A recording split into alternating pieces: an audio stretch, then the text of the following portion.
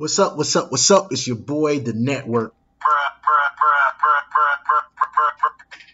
And today's topic is Describe Easy Virtual Networking, EVN. This is section 4.3 of the CCNP route exam. It will be known as the CCNP Enterprise exam if you're taking it after February 23rd, 2020. Let's take a look at the exam blueprint to see where we came from and where we are headed. Hashtag lab every day. All right, it's the exam blueprint implementing Cisco IP routing. Again, it will be known as the CCNP Enterprise exam. So if you're watching this two, three, four, five years from now, just know it used to be called CCNP route. It's now called or it will be called uh, CCNP Enterprise as of February 23rd, 2020. So this topic will most likely be in that exam. It may or may not because this this topic right here, it appears to be a fad to me. I haven't really heard too much about it. Uh, but anyways, we just wrapped up the section uh, describe DMVPN single hub, right? Today, we're going to again describe EVN. So notice it says describe and not configure and verify. So in other words, we ain't gonna be doing no hands-on today. I'm just gonna give you a brief definition, a brief description on what EVN is. After that, we're gonna move on to finally infrastructure security. We are finally down to the latter uh, quartile of this of this uh, of these topics here.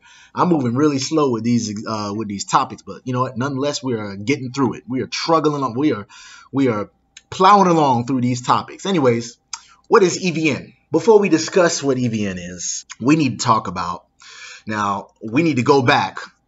You you may or may not want to go through my CCNP playlist to do this, but this topic goes hand in hand with the section 3.8, configuring and verifying VRF Lite. Notice we had to do hands-on in that one. And that was pretty lengthy. That video was probably about 45 minutes long because it was just so much to configure. Well, this is where EVN comes in. It's an easier version of VRF Lite. So let's talk about what VRF Lite is. If you remember from the other video, that section 3.8, virtual routing and forwarding in IP-based computer networks. Virtual routing and forwarding, VRF, is a technology that allows multiple instances of a routing table to coexist within the same within the same router at the same time. So if you look at this picture right here, shout out to Kevin Wallace. This is where I got this from. It's kind it's similar to VMs, if you know what a VM is. It's a virtual machine, right? It's basically like fake computers within a computer, right? So if you, you can make a create a computer within a computer and it has its own, you know, operating system. It has its own virtual like mouse, even, uh, you know, virtual optical drives, etc. Right? So you have these fake computers within a real computer. Well, take this same concept, and I sound like a broken record because that's exactly what I said in that video. We're using, we're taking that same concept and, and doing the same thing with routers, right? So you have these fake routers within a physical router, right? So these are like virtual routers within a physical router, and each one of them have their own separate routing table and everything, right? Now, it sounds like I'm making a, a, commercial for VRF, and I haven't y'all still waiting on EVN, right? Well, here's the thing. Virtual routing forwarding, it's a it's a great concept, it's a great tool. You could segment your network and everything like that, just like VLANs, but on a layer three scale, right? But the problem with this is the the configuration can be so lengthy. And if you if like i said the video for that vrf video that was like 45 minutes. Well that's because i was trugging along uh, you know trying to figure out what was wrong with my router ids and stuff like that. But anyways it was a long video because of the configuration. Not only that you have to do sub interfaces for each vrf instance right? And then propagate that through the network right? Not only that we had our switch doing the uh, the trunking for us, right? We had a switch, layer three switch, doing the trunking for us, right? Now with EVN, it basically simplifies the configuration. In short, I could have just told y'all this at the very beginning of this, right? In short, it simplifies the configuration of a VRF, right? So it's just like VRF, but it's just a simpler configuration. And not only that, you don't have to do several interfaces. Let's head over to the slides for the official definition, or next slide for the official definition. So, easy virtual networking. EVN is a technology that provides end-to-end virtualization over layer 3 networks. EVN allows you to segment the same physical hardware into multiple groups. which have their own logical network and their routing and forwarding tables. So just like we have separate routers within this physical router, right? These these virtual routers within this physical router, we can have separate physical networks. So it's just like a, your whole your whole network. So you can have a network for just one department, right? Another network for it, but they're not real networks. They're they're virtual networks with their own routing tables, their own VLANs, etc. And that's what EVN does, right? Except it, that's what virtual router VRF does as well, but it's just that the configuration is just it's just so long and involved. EVN makes it a lot easier. And I'm gonna show y'all. Well, I'm not gonna show y'all completely. I'm just gonna give you a sample configuration because, like I said, we're just gonna be doing a little, basic description here. So you can also run some internal gateway protocols. OSPF, and EIGRP. Those are the only ones. You can't do BGP. I haven't experimented with it, I, I, but apparently you can only do those. EVN removes the need, just like I said, of per VRF sub interfaces. So if you remember in that video, video 3.8, if you want, you can watch it, but it's 45 minutes long. I try to trim it down as much as I can.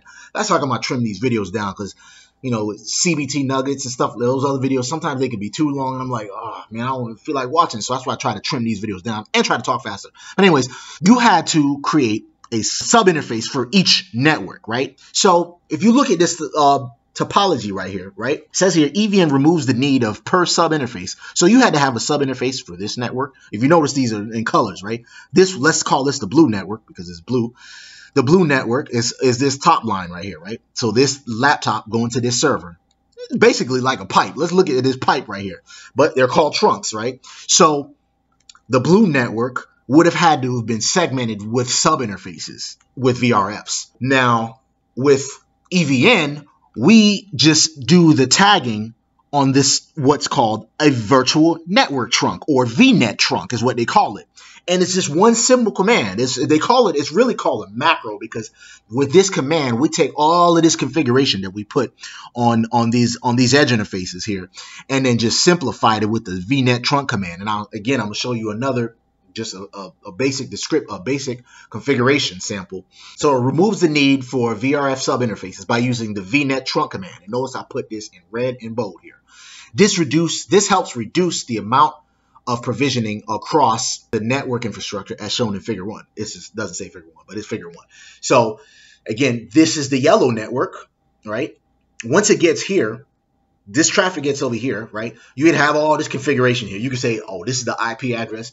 This is what uh, what uh, VLAN is going to be in, etc. Right? But once you get in here, you're just going to make this interface, this physical interface, and, and tag it as a VNet trunk. It will do the tagging on this VNet trunk right here, and then this will be like say VNet trunk 2 and the orange one could be trunk 3 and so on and so forth right? So it's just like VLANs if you if you're familiar with VLANs except that we're doing this at layer 3 with IP addressing and stuff so. And then once it gets over here this will recognize the tag. It'll say oh like say like we received some traffic from the blue network right? It'll say okay see that it came from the uh, blue network because it'll it'll be tagged just like a VLAN. It'll say you know tag two, and once he sees it's tag two, okay, that's the blue network. Let's go ahead and send it over to the blue server, etc. Same thing with the orange network, and then and so on and so forth. And that's how it basically um, identifies what traffic came from where.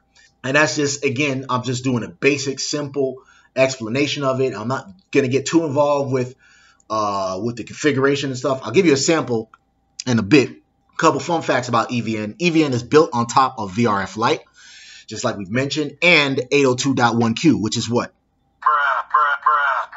That's y'all pop quiz for today. What is 802.1q? Actually, I'm gonna just go ahead and tell you it's VLANs basically. That's the standards for VLAN. So it's built on top of VRF Lite and 802.1q encapsulation. Each VNet carries a tag in the VLAN ID field of the 802.1q frame. So it's a combination of VRF Lite and VLANs. It just makes the configuration of VRF Lite a lot simpler because the VNet trunk command is basically a macro. If you know what a macro is, it's basically like writing down one command that equals a whole bunch of other commands. So you just type in like say VNet trunk. Once you put in that with its ID, it knows, okay, all of this stuff means VLAN trunk 2 or whatever the case may be, or VNet trunk 2. This eliminates the manual configuration of sub interfaces for each virtual network. The sub interfaces will be created automatically with a VRF forwarding instance assigned to each one. Again, if you want more information on VRF Lite, go into that video section 3.8 on my channel. And yeah, you will see it's it's it's a it's a long and involved process when you are creating a uh, VRF Lite solution. So just like with VLANs, VNet traffic can be either tagged or untagged. We've mentioned that. Untagged VNet is referred to as VNet Global, which is the default routing table.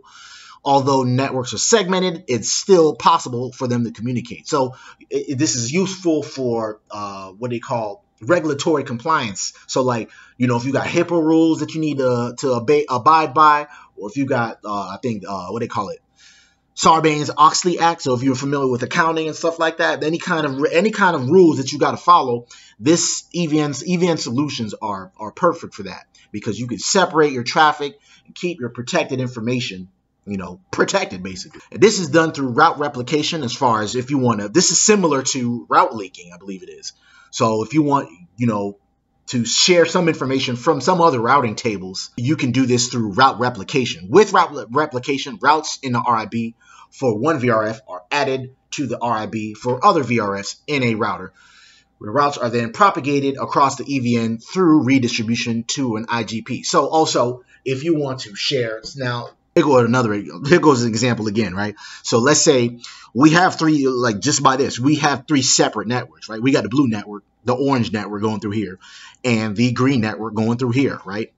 So this is similar to VRF's, VRF Lite, except that we're just using one command, the VNet trunk command, to simplify all the confusing configuration that we've done uh, on, on, this manual with sub sub interfaces and VRF forwarding and all of that. We just type in VRF VNet trunk and it just takes all of that information, puts it, passes it on. But anyways, notice that this is separate networks, right? If we want the green network to get, let's say, this has all the DNS uh, services or the DHCP services, right? But that's on the blue network, right? We can have some of this information passed on to the other network so that way, in case they need some DHCP information or DA, DNS information, we can do that through route replication and or with uh, route leaks but I believe route leaking is is more so for VRF Lite. Don't quote me on that. If you do know, please put a comment below. Again, this is my journey. I'm just trying to explain this as best as I can. Anyway, here is a configuration example. I know this looks a little bit long and involved as well, but this is, a, believe it or not, a lot simpler than VRF Lite configuration. You will just go to the global config mode, VRF definition, and then group. You just name the group, whatever. And then VNet tag. This is just like a VLAN, right? You type in VLAN and then you name your VLAN and then the number of the VLAN. You can name the VLAN, etc. Right? So this will be kind of like the name of the VRF. This is the tag of the uh, V of the of the um, of the virtual network, that specific virtual network, so on and so forth, right? Then this is the physical interface. We just type in VNet trunk and let them let them know that this VLAN or this interface is going to be trunking virtual networks. So this, that's, notice I put this in red here. This is the most important command that you need to remember that simplifies all of the work that you've that you've done on uh, on these separate uh, VRFs over here. And you just put in the IP address just like any other interface. EVN uses a V level. This is kind of redundant here. This I don't even know why I put that little information here. But anyways, traffic flowing a VNet trunk is tagged with a VNet tag, just like VLANs. Here's another example right here. We got the 160100 network, 170100 network, and the 180100 network. We got a solid line, a dotted line, and a dashed line right here. And all the information gets uh, goes across the VNet trunk. And then once it gets to here, this becomes an 802.1q trunk because it's layer two, right? And then the traffic gets segmented. A lot easier than VRF Lite. So that is all I got for y'all today. Again, this was just a simple, simple, brief def, uh, description of what easy virtual networking is. If you like this video, please go ahead and click the like button. If you feel like I could have went more in depth or if I made any mistakes, please just put a comment below. That is my Twitter handle right there. If you want to go ahead and add me on Twitter, make any suggestions if you want, any shout outs, I can shout you out if you want. And go ahead and click the share button if you like my teaching style or if you're just learning along with me. Go ahead and share this video on your social networks. In other words, comment, like, subscribe to the network.